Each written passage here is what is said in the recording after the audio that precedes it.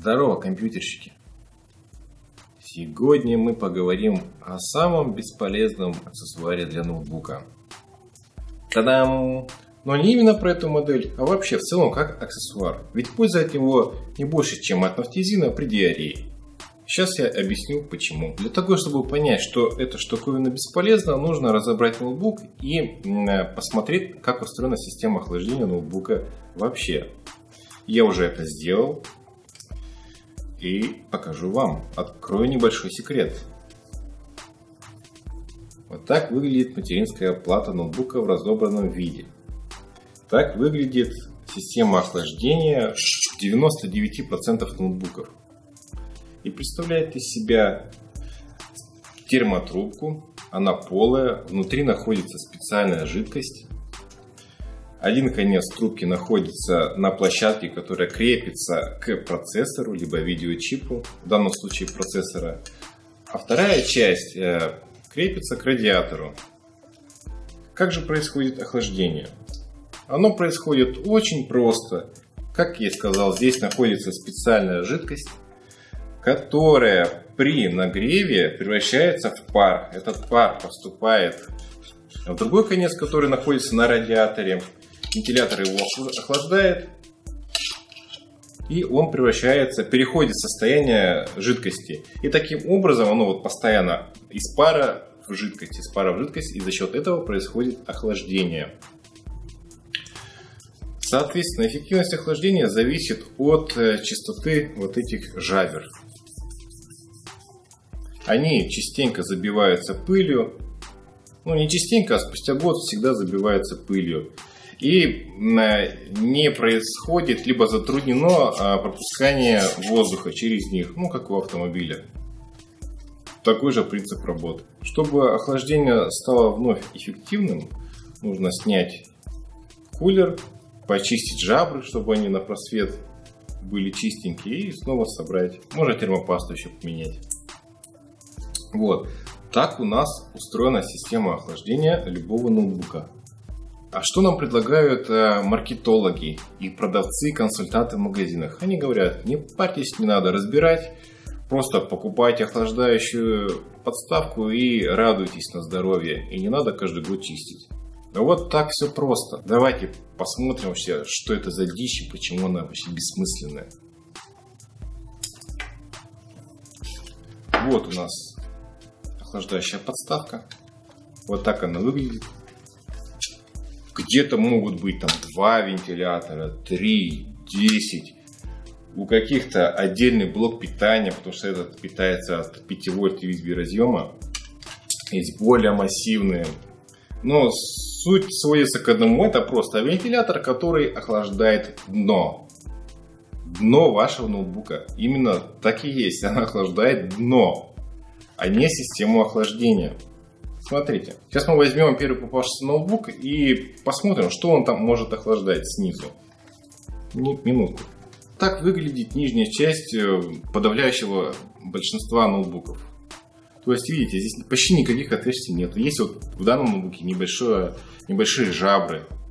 У других ноутбуков а, чуть поменьше. У некоторых вообще их практически нету. Либо какая-нибудь малюсенькая сеточка. И как вы поняли, то охлаждать здесь просто нечему этой подставки. Ну, куда она будет дуть? Она будет дуть в корпус. Охлаждать будет пластмассу. Поэтому смысла в них вообще никаких я не вижу. А, не знаю, я несколько раз пытался замерить температуру.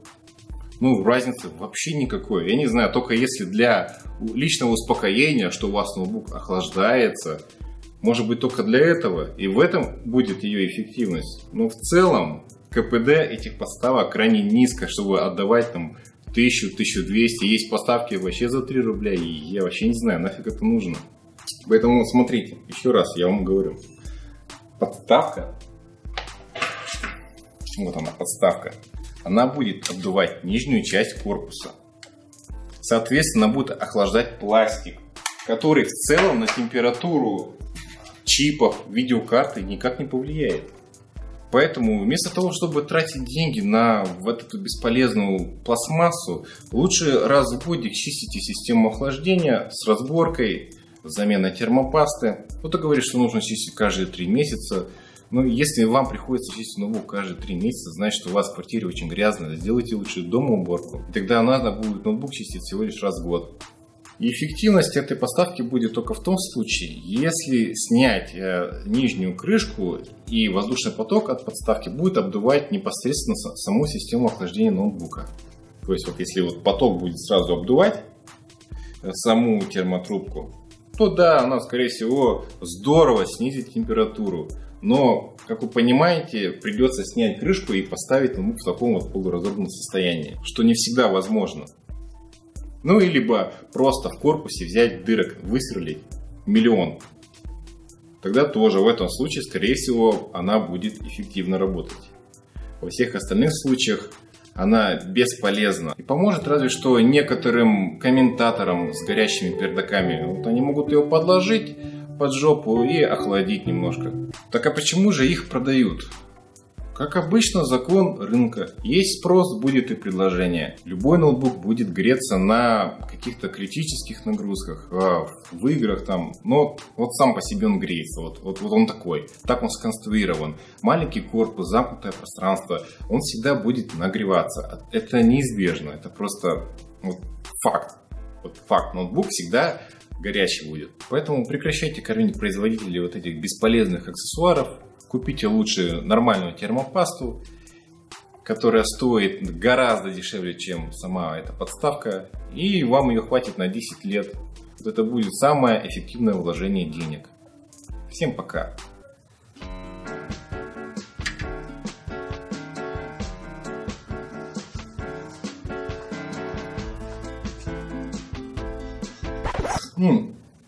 Кстати, самое интересное.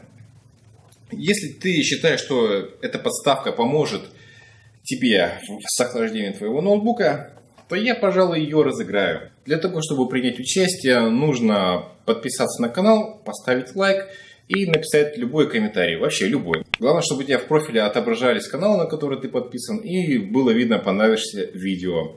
Также результаты конкурса мы продублируем ВКонтакте.